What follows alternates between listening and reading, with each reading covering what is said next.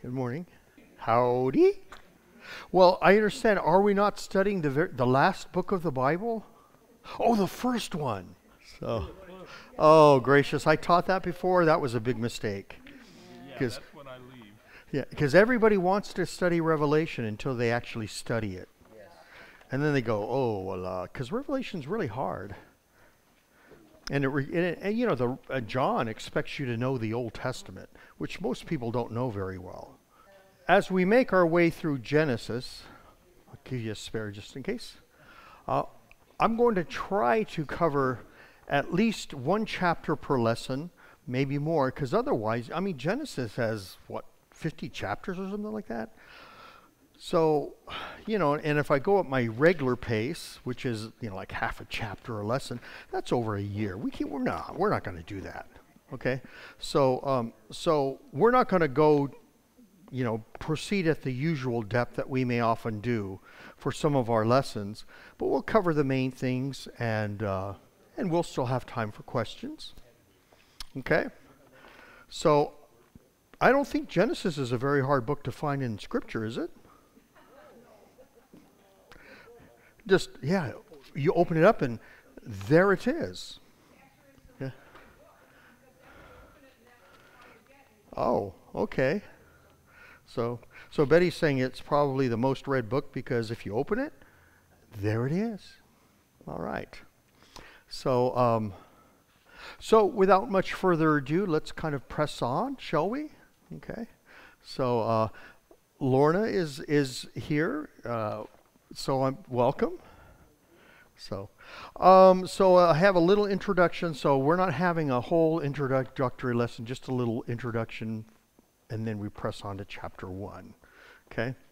So Genesis starts out in our English translation in the beginning, right? Um, and it's a compound word with a preposition meaning with or by means of, and reshit, which is something like the first cause or, or something along those lines. So it could be translated in the beginning, it could be when God began to create a whole slew of things, and grammatically, those are all kind of fine translations. In fact, I would prefer when God began to create, except some of the higher critics kind of like that and that's not why I don't that's not why I like it. I just like it because I think that's the best rendering. Okay? But um, so what we'll find out is that God creates things, but he creates a world in which what he creates is able to reproduce and sustain itself. Okay? So that is kind of made known right there in the very beginning. So, so we'll recognize that God is our creator, and yet how did we all come into being? Well, mom and dad. And how did our mom and dad? Oh, from their mom and dad. See? So it goes all the way back to God's creation, but that's built in. See? And so we can kind of get that from the, ver- the very first compound word in Genesis. Okay? If you kind of look at a lot of the stuff, how people have responded to it, because, you know, um, modern science has really had an impact on a lot of a lot of biblical scholarship because what does science say in relation to what scripture says? Well science comes up with a whole bunch of other things concerning how we came into being. Now it's all theory or hypothe- hypotheses right? But it's the best that science can give us Okay? And so a, a lot of biblical scholars go, well, you know, uh, what's written in Genesis uh, doesn't really kind of match the best of what science can give us so far. And so they'll kind of let that influence how they understand Genesis. So, you know, so people, well, it's it's myth, or God is giving us to try to set, giving us this information to try to satisfy our curiosity. He's not really telling us what really happened, right? So we're not going to go down that road.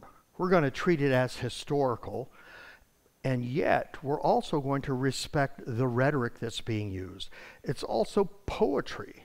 We're going to respect both.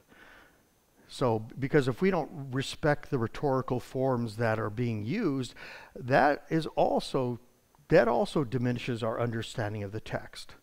So we're going to we're going to do both. Okay, we're not going to walk the the, the, the high wire the, the critics do, the higher critics do. Think, ah, this is all myth. But neither are we going to go fundamentalist and just go, well, are they seven literal days and nothing else matters? Okay, so we're not we're not going either direction. We're going to honor, right, the historicity and the rhetorical forms. Are we good? Mm-hmm. Yeah, because I, I really like doing that because I learn so much when I do that. Okay? So I have a, I have a really quick little outline of Genesis, just the basics, right? So we kind of have ancient history. That's chapters 1 through 11. Okay? Or we can even see that as a prelude to God what? Establishing things for Israel to bless the world. Okay? So it's it's um, literally is that a word? it kind of sets the stage to prepare us for Israel and how God will bless the world through Israel. So that's kind of that's kind of um, stirring within the text of the first chapters, even though that's not the content itself. Okay? And then after that, it's what? Patriarchal history, right? Uh, descendants of Terah, Abraham, Isaac, Jacob, and Joseph. Right? And then, boop, okay. So I didn't say, I said 50 chapters. Well, that's not right. But, oh, yeah, it is right. Okay. So are we good? Are we ready right now to jump in? So let's plug our nose, jump into the cold pool, and start swimming. Uh, do you do you remember this guy named Bishop Ussher? Well, I mean not personally, but he was he was an Anglican bishop back in I don't know, a few hundred years ago, who ca- who added up all. He looked at the different genealogies and then calculated that the earth was created in like 5000 BC or something, right?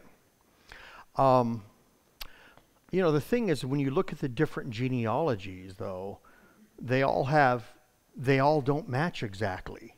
Because each genealogy, genealogies serve other purposes than simply saying, oh, well, who, you know, who are my ancestors? Right? And so when you look at, say, Jesus' ancestry, you see three groups of 14. And yet the time periods of each group of 14 are of different lengths. So you go, okay, so which means that the genealogy skipped a lot of people, okay? But the point is what? Um, these are the people that Matthew wants you to know who are ancestors of Jesus. And what does that mean? Okay? So if I were, so I would say, okay, so you factor in all that stuff. The genealogies don't list every single person in, eh, because they're not genealogies as we think they are. They serve other purposes. So I would, I would think the Earth is probably 25,000, 30,000 years old. That would be my hunch just based on that. But I can't prove that, right? And that's just kind of my estimation of how many people were skipped. You know, who, who, who wants to be highlighted in a particular genealogy? Okay? So uh, I'm going to say, in a sense, it doesn't really matter. Okay? We don't want to take away the historicity of this, right? But it's Genesis, it's really telling us who God is and how he did stuff. Okay? So it's, it's not really giving us specific dates. Now, we can calculate some of the stuff when we look at some of the ages of some of the people who lived. Okay? So I can't give you a specific date like in the beginning, oh, well, that was, we don't know. Okay? So, and I just don't want to make something up either. Okay. So, uh, let's, we're going to look at Genesis 1, 1, and 2, and I call that the prequel Okay? In other words, it starts out with it starts out as a topic sentence and then actually the rest of creation kind of fills in what verse 1 states. Okay? So I'm not going to look at verse 1 as day one, but I'm not going to say, oh, but it was billions of years before. No. Okay? So, verse 1 In the beginning, God created the heavens and the earth. And so, verse 3 and following is how God did that. Okay? Topic sentence. And plus, um, the way it kind of starts out, you know, it's an introductory. And it's a particular, it's a verb form which, which basically always kind of, you know, it, it's written in a way that denotes that something else will be getting underway. And that's the creation itself. Okay? So that's the reason why I kind of call this the, the preview or the prequel or the whatever, these first two verses. Okay? And the earth was without form and void, and darkness was over the face of the deep, and the Spirit of God was hovering over the face of the waters. So this is kind of what is there at the very beginning when God says, okay, I'm going to create stuff. Okay, and, and how is the earth described? Form and void. Darkness was over the face of the deep. So it doesn't, things just kind of, it seems like it's stuff's just like a jumbled mess, isn't it? Okay? And so God will order it and structure it so that way it is not this. Okay? Now, the text doesn't say, well, where did this where did this stuff without form and void, where did this come from? Came from God. Okay? So he has he has created the very beginnings from which he will now make the rest of creation. And what we will see is we're going to notice word usage. We're going to notice the word made, and we're going to notice the word create. So, create basically is used first, and that's God speaking something into existence which did not exist. And then God makes, which means that he takes something that he already spoke into existence and uses that as the foundation to, to make something else. So notice, so let's kind of notice that when we make our way through the text, okay? Create and make. And the ESV does a good job of, of translating those. It's not mixing and matching, so it's not going to lead to any confusion. Okay? So a couple things to note on page two, created. Okay, I already talked about that it's that the form it is and it's expecting us to, to know the rest of the story, which will be happening. But the word for heavens, get this, it's interesting because it's really what? It's, the it's really a compound word, two words. The word for there is and waters. What? So, what is the text saying? That the heavens or the sky or is made of water? Yes. And so we will find that out later when we talk it, when it describes kind of this uh, kind of water kind of um, dome covering covering the earth. Okay? And so the word itself for heavens originates from that. So, and we would never know otherwise unless you kind of go to the root words and stuff. Okay? There's a whole lot of stuff kind of in the words that just kind of open up an understanding of things. And so just the word for heavens, and then of course that ends up and kind of continues on and and it just becomes that, even though its original meaning is there is water. Okay. See? So on page two, a little box, God's poetry in the beginning. Okay. In creation's opening words, we come across Hebrew poetry. God described the universe's mass before he further formed it as tohu vabohu. So you can kind of tohu vabohu. It's uh, right, right there. It just sounds like a like a combobulated sort of thing. Tohu vabohu. This may be a nonce phrase, something used only for this occasion, to have, a to have the second word reinforce the first by rhyme and re-emphasis. Tohu vabohu. Like hocus pocus, right? I mean, that sort of Uh, tohu itself means emptiness or futility. Okay? Vabohu means, well, it's a compound word, and va, bo in it, who there is. So even though the King James says it was void, how does the King James, it was void and waste or, anyways. Um, Vabohu is not an exact repeat of tohu. Okay? So things are a combobulated mess, but within that mess, there is the potential for much more. And that's what and that's what Vabohu kind of has lurking in the text or lurking in the meaning of the word. So two words in a poetic phrase emphasize that the world was without purpose and a mixed up mass of matter. But not only, for within the swirling matter lay something much more which God will further form and shape for his purposes. Okay? So right there when we hear the earth is what? Formless or formless void, you go, oh yeah, but not only. Because in that mess is potential which God will bring out. Okay?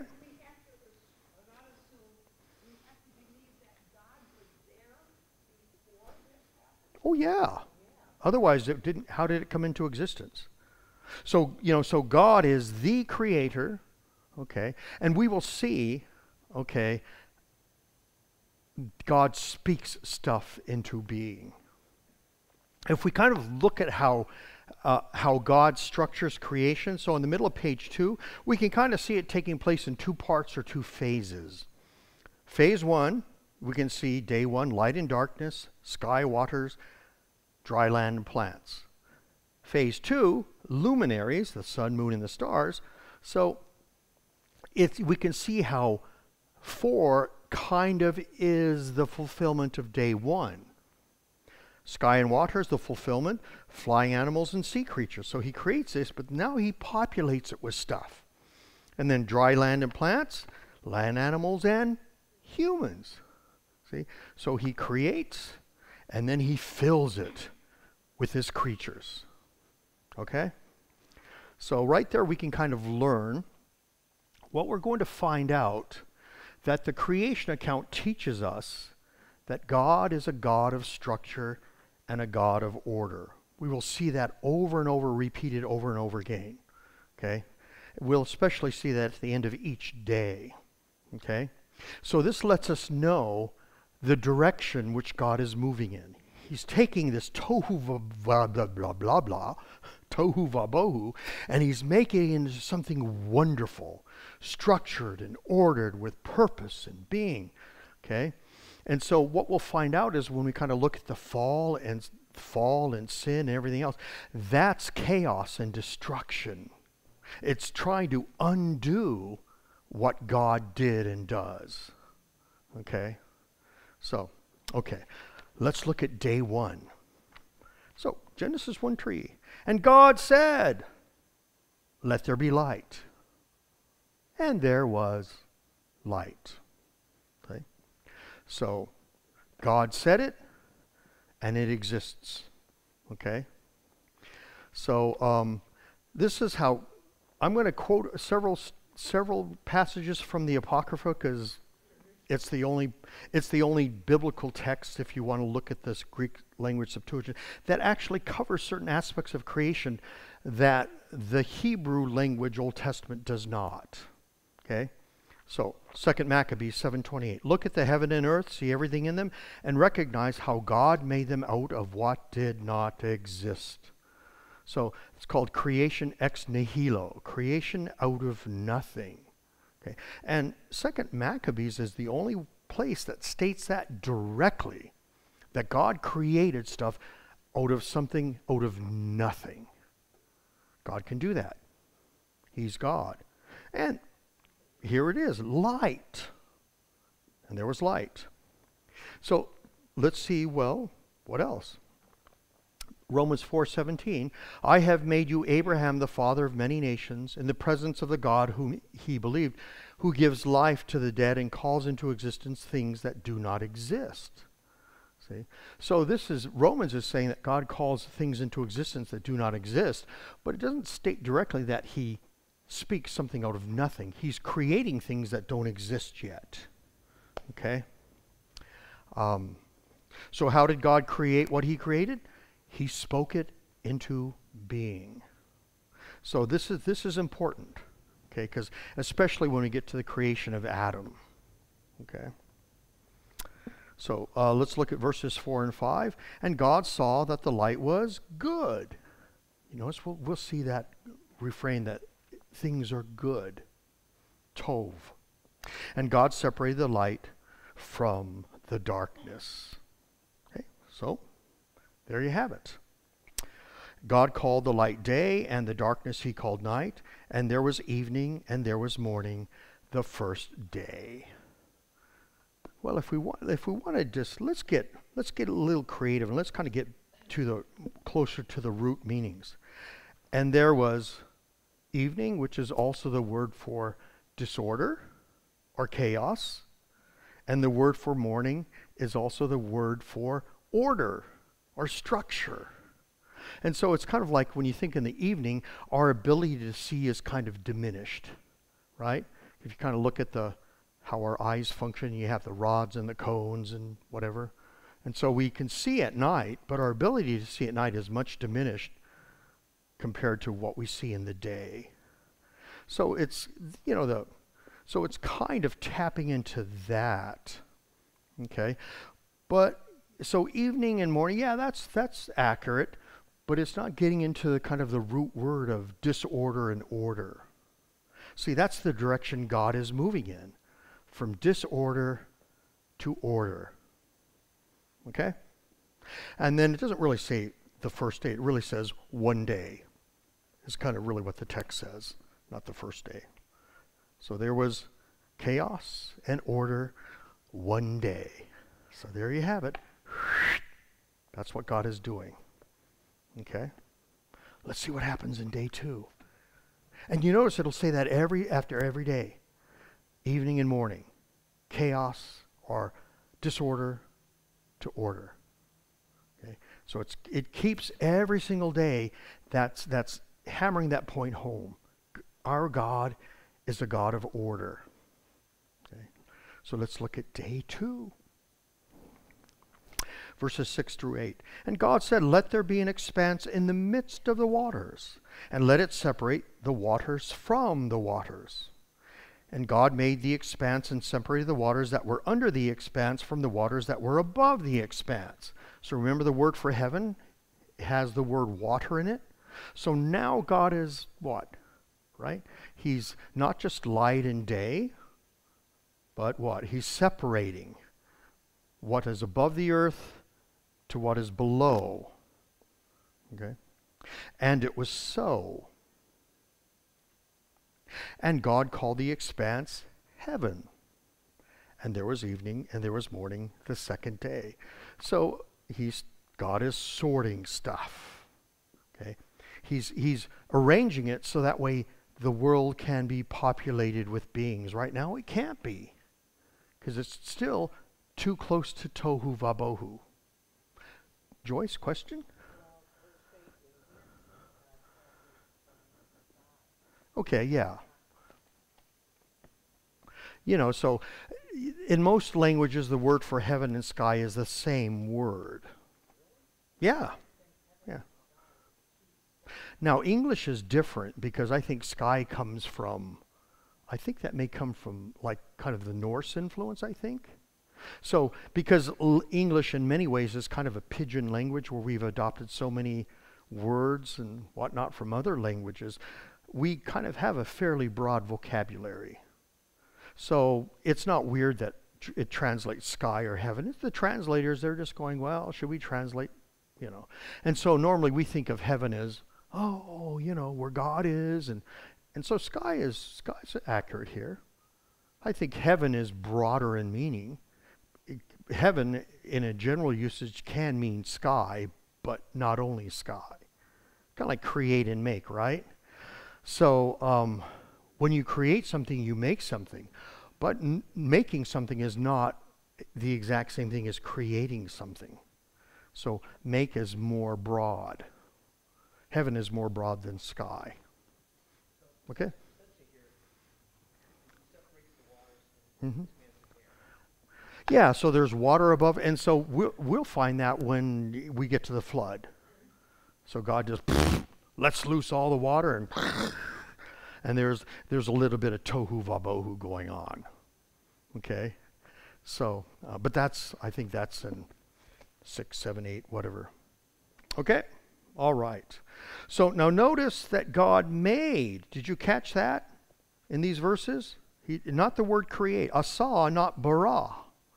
Okay, and God made. Okay, so the point here is that what he earlier spoke into being, he is now using to what?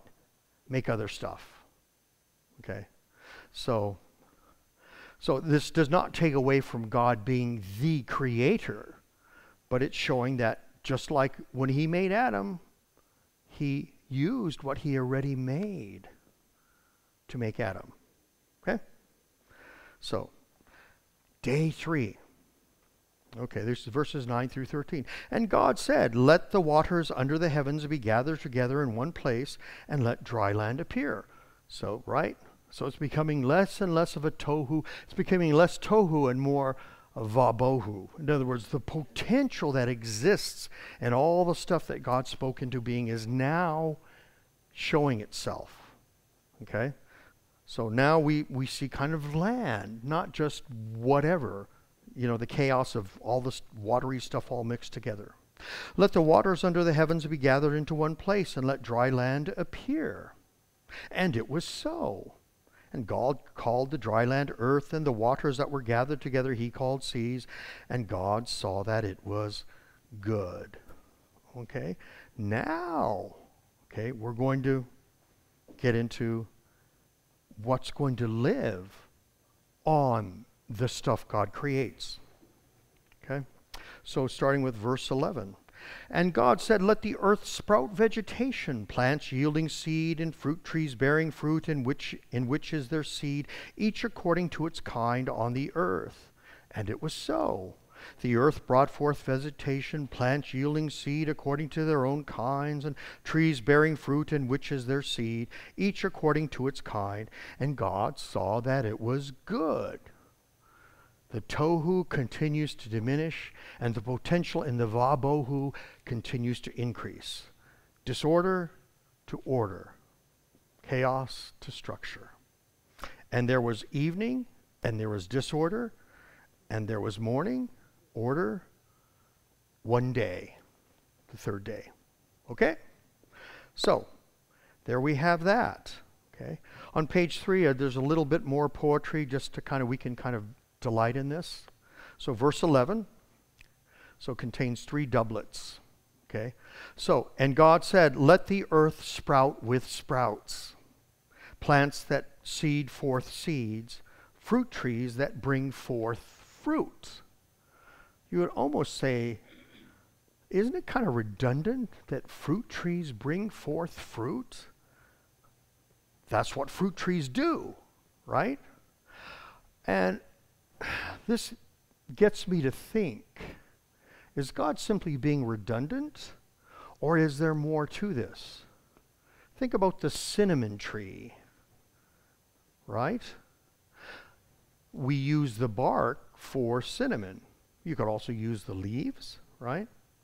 So, in other words, the tree itself has value. And it makes me think, before the ruin of sin, that perhaps the entire tree was edible. I don't know. It doesn't say, but I'm trying to think if God's not being redundant, is the true, tree itself like a fruit, which also bears fruit. Okay. And and the whole fruit stuff will come through when God tells, you know, Adam and Eve to be fruitful and multiply. So we'll we'll get to that. Okay. But it's just just kind of gets me thinking that the goodness that when God says that it was good, it's probably a way a lot more gooder, a lot better than we imagine. Because what do we know? All we know is the best that this fallen creation has, which over over time we've improved upon, right? Through selective breeding and this and this and that.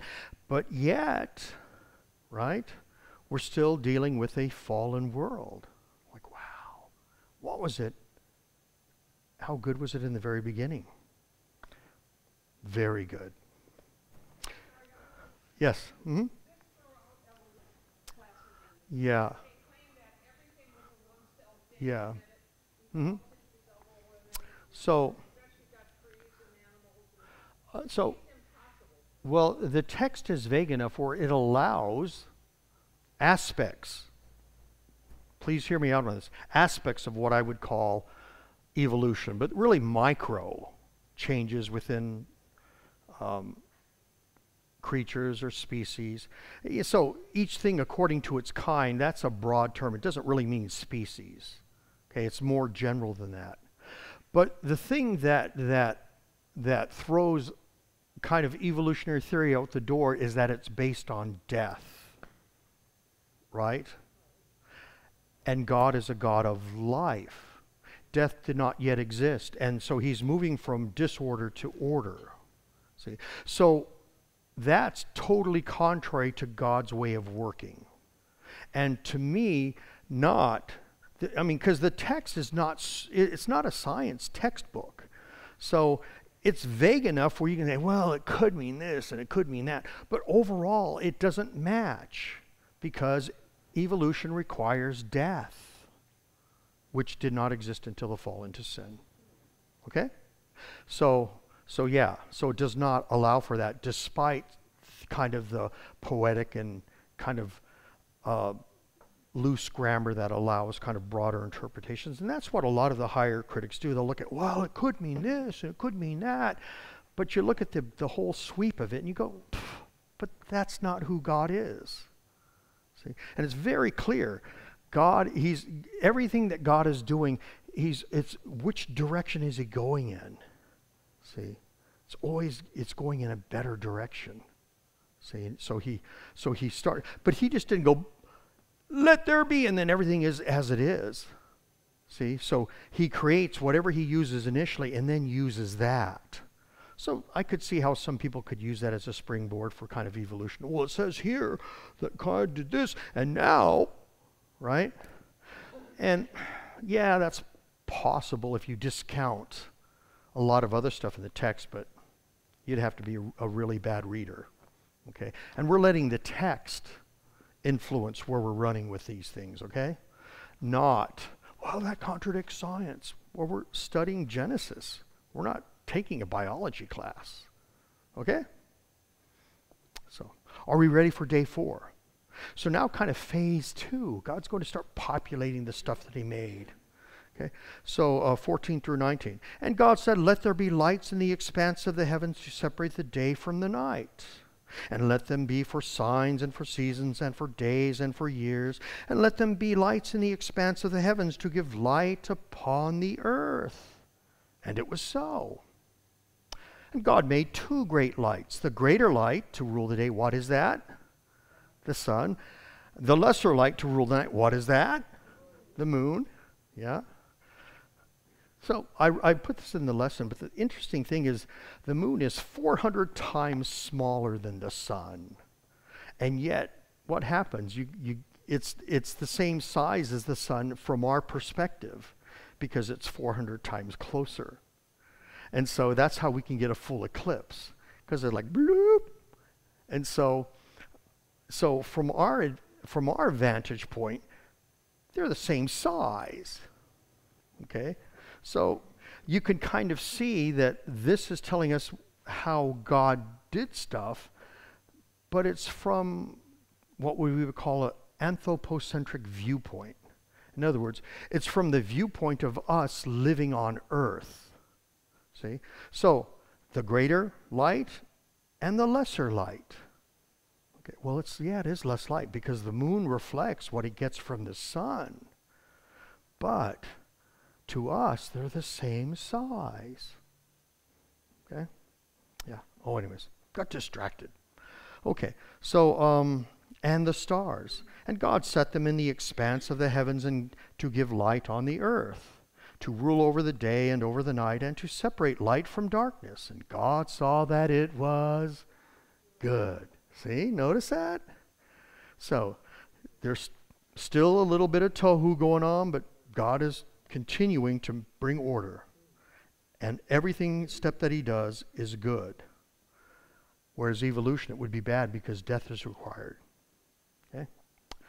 Um, let's see, to rule over the day and over the night. And God saw that it was good. And there was evening, and there was disorder, and there was morning, there was order the fourth day.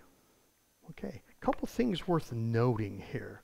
Okay, so God gives light, but the word forgive is also the word that's used when somebody gives a gift to somebody else, a personal gift to whomever. Okay? So the text is kind of letting us know that God is gifting us with light. And so he's, you know, the text in a sense is planting in us the goodness and the giftedness of light, which will be especially important after the fall into sin. And Jesus comes and he says he is the light of the world. See, so that he's the light of the world, if we go back to creation, oh, he's God's gift to us. We only get that if we go back and we go, oh, I mean, you, you can't prove that, but it's, it's implied, okay, in the text. So it's something very beautiful if we catch these little things, right? So, yeah. Well, here's something to think about. What does God do on day one? In the beginning, God created, well, that's verse 1. But he, he said, Let there be light. Wait a minute. He makes light, and yet he did not yet create the things that emit light. What's going on? So, what's happening in day one? See, God is outside of time. He's eternal. So to be eternal means that you're not constrained by time. So when we go forever and ever, well, that's trying to understand eternity within our human frame right? Because we're creatures within time. But if you're outside of time, time is, you know, 10 trillion years ago, today doesn't matter, right? To you, it, it's like the same moment because you're outside of it. And you're, oh, here, here, or whatever, okay? So, which means on day one, God creates time. You have light and day, even though he hadn't yet created the things which give light. Okay? So he's creating time. And so I, we're not going to really get that until we get to day four. And we're like, wait a minute. How could there be day and night when the sun's not even made yet? Right? So, yeah. Yep, yep. So, um, so yeah, yeah, we can kind of see that um, this also lets us know kind of who God is, how powerful He is. To think time did not even exist until God created it. We don't, like, what? I thought it just always was. If you're eternal, right? And so now He's, he's kind of making this stuff. So his creation will operate within the realm of time, even though he is not bound by time. Okay? Let's look at day five, verses 20 through 23. And God said, Let the waters swarm with swarms of living creatures, and let birds fly above the earth uh, across the expanse of the heavens. So God created the great sea creatures and every living creature that moves, with which the waters swarm, according to their kinds, and every winged bird according to its kind. And God saw that it was good. Okay? And God blessed them, saying, Be fruitful and multiply, and fill the waters in the seas, and let birds multiply on the earth. And there was evening, and there was what? Disorder and order the fifth day. Okay. So, what did God make on this particular day? He's now populating the air. Okay? So the word translated for birds is too bird is too specific. The Hebrew really just means anything that flies. Okay? So, I don't know. Are there things that fly that may not be birds? Okay. So but uh, so yeah, so it's just basically flying creatures is really probably a better way to translate that rather than birds. So we have a tendency to try to make this more specific, but it's you know it, it's this is really kind of giving us the broad sweep of things, okay? And then the great sea creatures. Well, in the Hebrew, it's really creatures and then great. You know, so the so the descriptor of what kind of creatures comes after the after the noun. So the adjective. Okay? And that's also the word for reptile. So if this is referring to dinosaurs, this would be when God created them. Okay? It's this is, you know, dinosaurs more of a specific term, but it would kind of fall under kind of these giant creatures. Okay? And uh, it could even be translated as, as um, um, Tanin could even be uh, like translated as kind of like a monster or something. So if you watch the if you watch the um, some of the sci-fi movies or whatever kaiju or whatever, you know those Japanese ones, that would be a tanin, or Gojira, Godzilla, that would be a tanin. Never mind. So, did you guys ever see like Godzilla versus King Kong when you were a kid? Okay. Yeah, really bad stick was that stick figure stuff whatever i don't know pretty pretty bad stuff though okay so that's day five we notice do we so it's it's being repeated evening and morning it's not just counting time it's telling us who god is. He's the god from disorder to order. Okay? Day six part one. Okay verses 24 and 25 and God said, Let the earth bring forth living creatures according to their kinds, livestock and creeping things and beasts of the earth according to their kinds. So here we can even kind of see some general categories. Things that are domesticatable and things that are wild or feral. Okay? So right here, when we go back to tohu vabohu, the vabohu part, which has a little potential, we see that here okay, that animals can be domesticated. Hmm. Even though at this point it doesn't really matter because why? The fall into sin hasn't happened. So this text was written after the fall into sin. Does that make sense? because you can see here, even though it's telling us what happened before, you can see here that's kind of giving a nod to what can happen after. See? So we kind of see a resiliency or plasticity to what God created. When he, when, he, when he created stuff to be able to reproduce and thrive. So we see here God creating creatures according to their kind, which is more general than we would say a species. But species is a, is a man made designation. And we know that it's kind of artificial because you can have species that, could, that are different species but can reproduce, which lets you know that what's greater than species? Um, yeah, yeah. So King Philip our family getting stoned.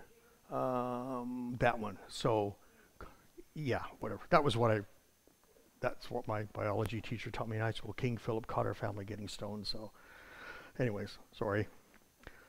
Um, that's how I remember the class, phylum, etc. Okay.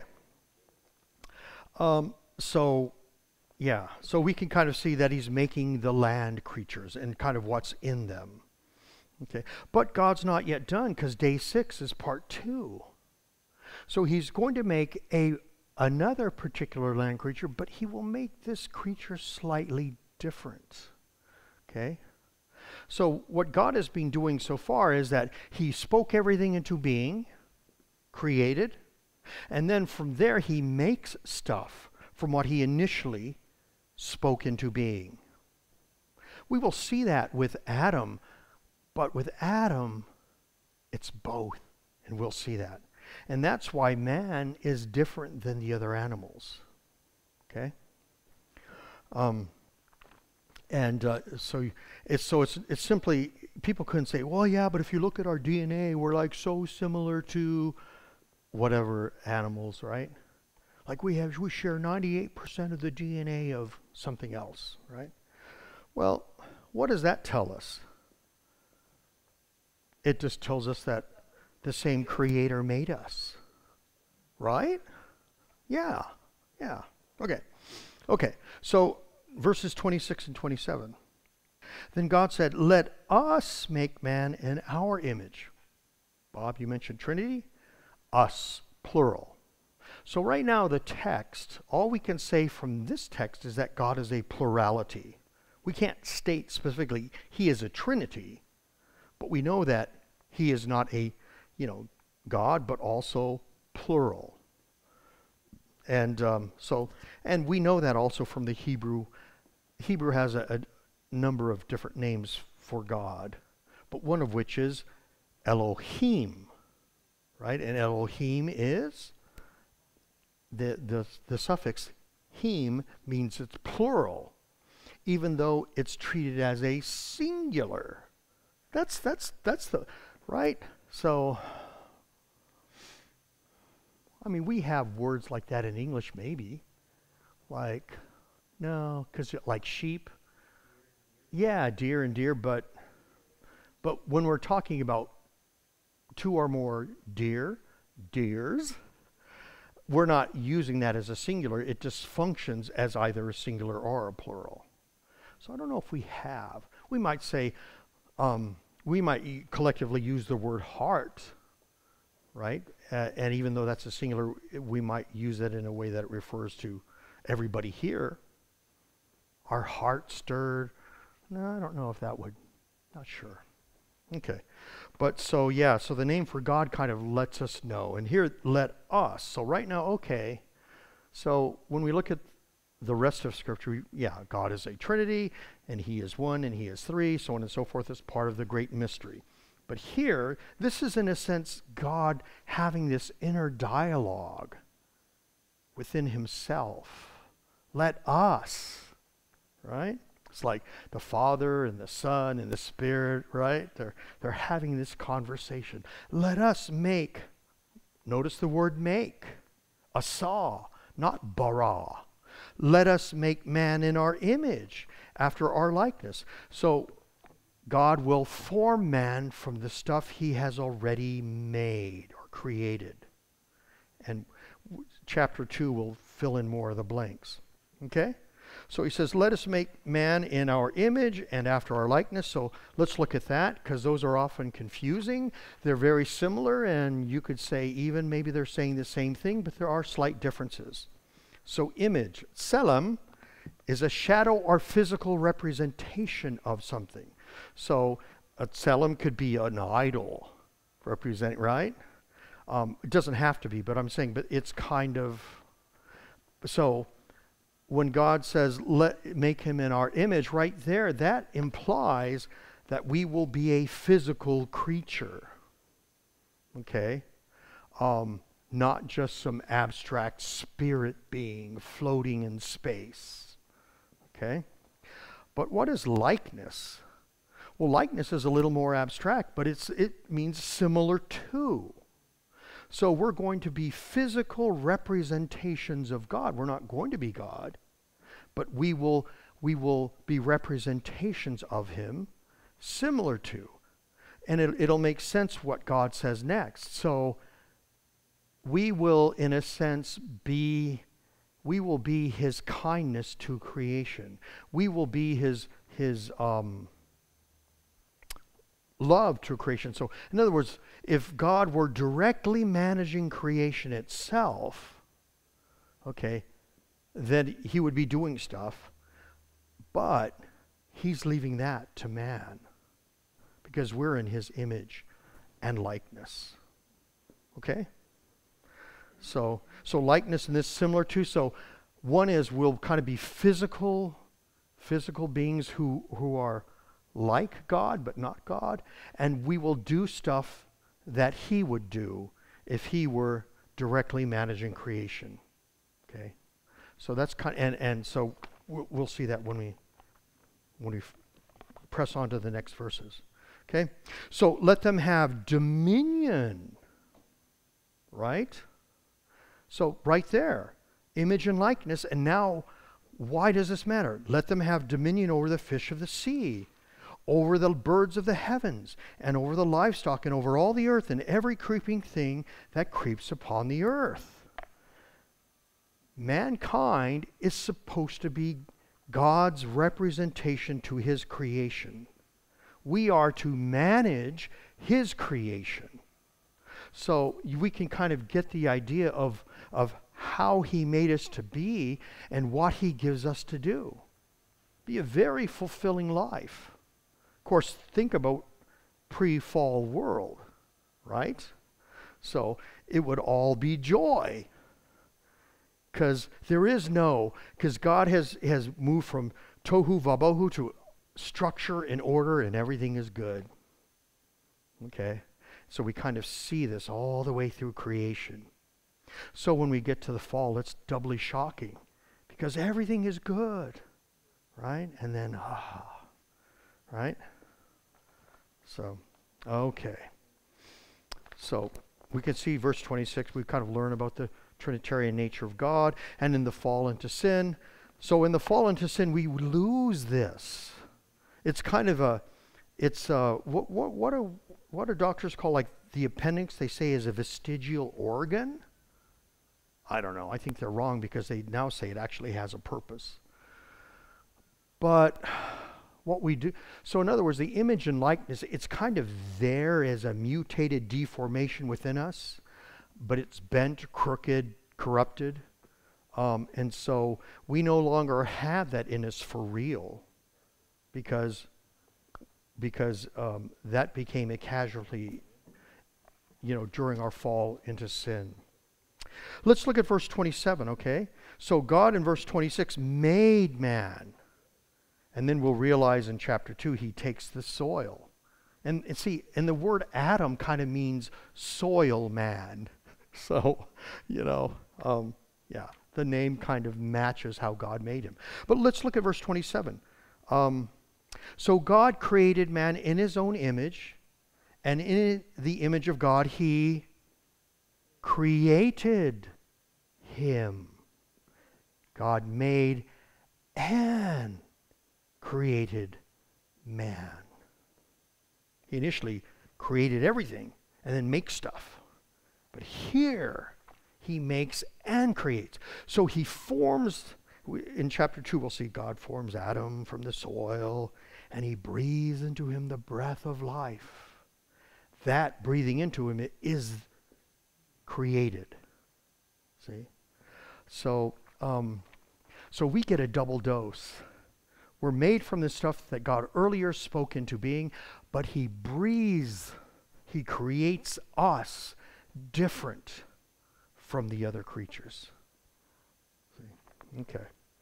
Um, so, created man in his own image, in the image of God, he created him, male and female, he created them. Okay. So we're slightly different. But that makes sense because God has given us oversight of his creation. Of course, in this fallen world, we've just screwed it up, right? I mean, you know. But what it would have been. Hmm. Okay. So um, let's look at Wisdom 23 24. God created us for incorruption and made us in the image of his own eternity, meaning, according to wisdom, that God created us to live forever. No death. See? Um, but through an adversary's envy, death entered the world. We'll get into that next week or the week after. Okay? So, just a couple, what did we lose when Adam and Eve fell into sin? the image and likeness of God. It's deformed and whatever is in there. So when people say, oh, well, God, I'm made in God image, I'm not messed up or whatever, whatever, yeah, we are. Because what God created us originally, that's all deformed because of sin. Okay? So we're taking, we're using a pre fall description of us to describe a post fall reality, which is, which is bad. Okay? So we were created in God's image. And now what do we have? Well, your guess is as good as mine, but it ain't good and it ain't pretty. Right? That's why we have Jeffrey Dahmers and whatever else. Okay. Hmm? Oh, yeah. We'll get there. So, who now has the image of God? Well, Christians are being recreated in his image. Okay? But we still have a fallen, sinful nature, so we're still sinful. Okay? Uh, page five, the Holy Trinity and creation. I think we kind of covered that.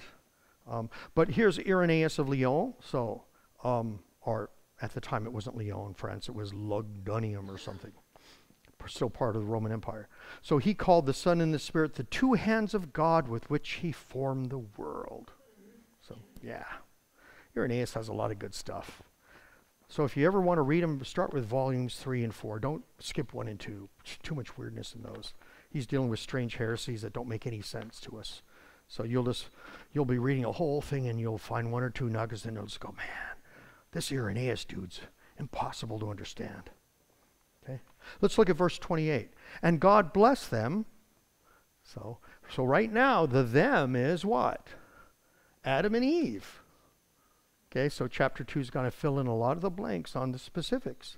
And God said to them, Be fruitful and multiply, and fill the earth and subdue it, and have dominion over the fish of the sea, and over the birds of the heavens, and over every living thing that moves on the earth. So, what did God tell Adam and Eve to do? Have dominion. Remember, this is pre fall. So, have dominion pre fall is different from have dominion post fall, right? oh, dominion, oh, well, hey, right? So, um, yeah, so in other words, Adam and Eve are his stewards to manage creation.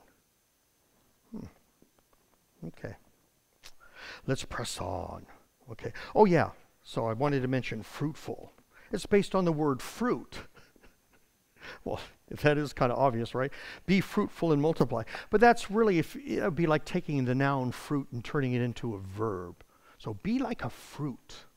So, um, and you think, well, what, what is fruit like? Right? He's not just saying simply reproduce, right? So uh, I'm thinking, well, you know, you think about fruit and the seeds within it are often and comes in different colors and great taste, especially pre-fall. Who knows how wondrous the fruits would have been, right? So I think within the context of be fruitful would be have a very fruitful life. Okay, not just be reproducing. See, and then the reproducing part really comes next. Okay, be fruitful and multiply. Become many. Okay? So I, I you know that's kind of the implication is is that this be fruitful is, is really what? Just delight in the stuff God gives you to do. Live it out in its fullness. And it, you know, and I would think that it would be wondrous pre-fall. You know, so scripture doesn't really speak of that, so and maybe in some ways it would be unrelatable to us. You know? Well, let's let's press on verses 29 and 30. Oh, I have to hurry up now. Okay. Um, and God said, Behold, I have given you every plant yielding seed that is on the face of the earth, and every tree with seed in its fruit, and you shall have them for food. And to every beast of the earth, and to every bird of the heavens, and to everything that creeps on the earth, everything that has the breath of life, I've given every green plant for food. And it was so. So in the beginning, were there any carnivores? No we were all vegans. Yeah, I still remember like in the 70s looking at hippies who only ate vegetables and they always looked sickly and weak. You know, I, I, I don't think it's a good healthy way to eat now, post fall, but okay. But so there was no death eating animals. So I guess right? So talking about the breath of life, right? So plants, okay? Um, and then verse 31 And God saw everything that he had made, and behold, it was very good. And there was evening, and there was disorder, and morning, order, the sixth day. Disorder to order. Really, the whole thing concludes in the first three verses in chapter 2, but we'll get to that next week. Yes. Mm-hmm. Yes. As far as we can tell, there's nothing to indicate otherwise. Hmm? So, well, if it wouldn't make sense because if you create something and then you have to wait 10,000 years, how would it live? Right? So, so yeah, I mean, there's no reason to think that day means something other than our understanding of day. Okay? So, next week we'll we'll start with the, we'll conclude with we'll start with the conclusion and then we'll we'll finish the rest of chapter 2, I hope. Let's pray, shall we? Our Father, there is much to learn on how you created the earth, not so much the I think in many ways we get lost in some of the specifics, but you want us to understand who you are, that you are a God of order, that you you take mess and you make it good, right, and salutary. You make it perfect. We ask that you continue to do that in our lives with your Son, Jesus Christ because we have made a mess of things with sin. And He, your gift of light, comes to make things right. Grant us such faith all our days that we may turn to Him and look to Him for our salvation. In whose name we pray. Amen.